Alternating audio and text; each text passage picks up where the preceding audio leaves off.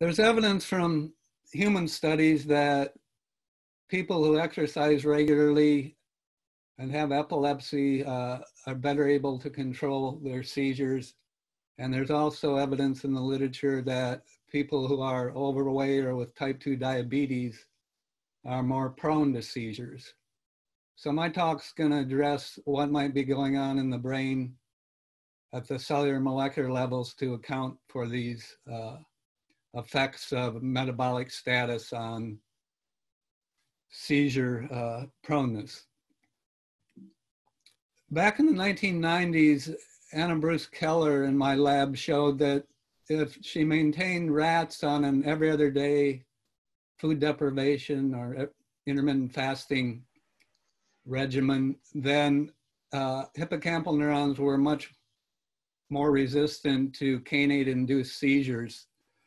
Uh, and that was this paper up here. And she also looked at learning and memory, which was severely impaired in animals fed ad libitum and exposed to kainate, and much less impaired in the animals on intermittent fasting.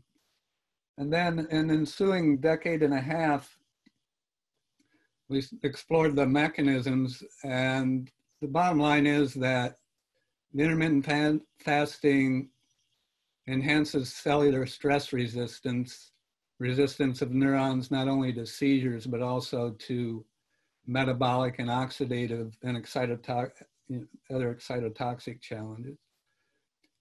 Now, recently we focused on a mitochondrial enzyme called sirtuin 3, SIRT3, which is a protein deacetylase, removes acetyl groups from lysine residues in proteins. And in one study, we found that running wheel exercise, uh, which had already been shown to be excitoprotective, we found that was not the case in third, SIRT3 deficient mice.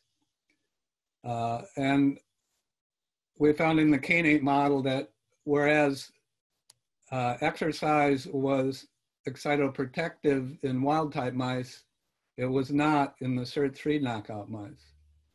And then one aspect of this that we found even early on in these studies in the 90s was that in order to see these excitoprotective effects of either intermittent fasting or exercise, the animals had to be adapted to the intermittent fasting or exercise for at least two to four weeks. And so we looked at SIRT3 levels uh, in animals intermittent fasting for different time periods and found that it, by one week, there's not much of a difference uh, in animals on intermittent fasting compared to ad libitum diet. By, by a month, there's a robust increase in SIRT3 protein levels. So then we explored what, you know, how is mitochondrial, this enzyme's confined to mitochondria, how is this enzyme in mitochondria affecting excitability and vulnerability to excitotoxicity? So um, Yang Lu in the lab performed whole cell patch clamp recording looking at inhibitory postsynaptic currents, that is GABA currents in wild type mice and SIRT3 knockout mice that were either on ad libitum diet or had been adapted to every other day fasting for a month. And the bottom line is that the intermittent fasting enhances GABAergic tone in wild type mice, but not SIRT3 knockout mice. We have not established the mechanism that links mitochondrial SIRT3 to upregulation of GABAergic tone. But we did look at some behavioral correlates.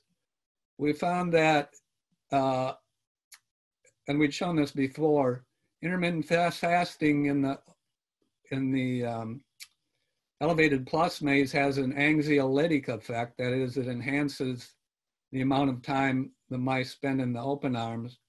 Whereas in SIRT3 knockout mice, this anxiolytic effect of intermittent fasting is abolished. Um, and then we also found with spatial learning in a modified form of the water maze that whereas in wild type mice, intermittent fasting enhances memory retention, In SIRT3 knockout mice, it does not.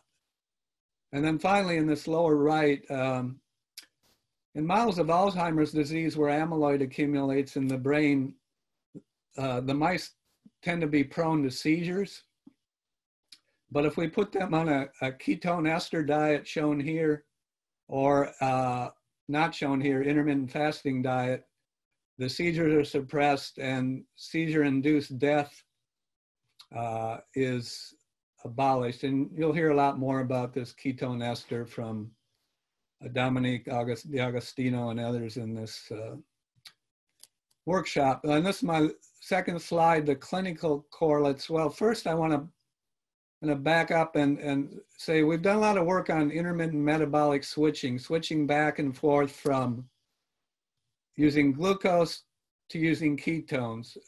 That is depleting liver glycogen uh, and the fasting or extended exercise states and then uh, so ketogenic state and then restoring here. And there's a lot of changes that go on that we've summarized in this review article. But we think this switching back and forth is very uh, beneficial for brain health and, and general health. And we're trying to elucidate some of the mechanisms. And as far as clinical applications, there's a lot of interest, of course, in exercise, but also more recently in intermittent fasting as applied to various clinical conditions. A lot of the focus has been on obesity, diabetes, cardiovascular disease risk, but also more recently, uh, brain disorders. And there's clinical trials now going on with intermittent fasting. And it turns out people can adapt very well to changing their eating pattern from three meals a day plus snacks to, say, daily time restricted feeding, where you're fasting for 18 hours a day, eating during a six hour time window, or maybe two days a week fasting, the other five days of eating. So many human studies documenting that pe people can adapt over a period of several weeks to a month so that they're no longer hungry. And uh, on clinicaltrials.gov, there's now many trials going on. I think epilepsy is a good uh, uh, disorder to focus on, among others. So, and then last slide is references. Uh, these slides will be included for everyone. So this is a list of references uh, that uh, for this work I talked about. Thank you.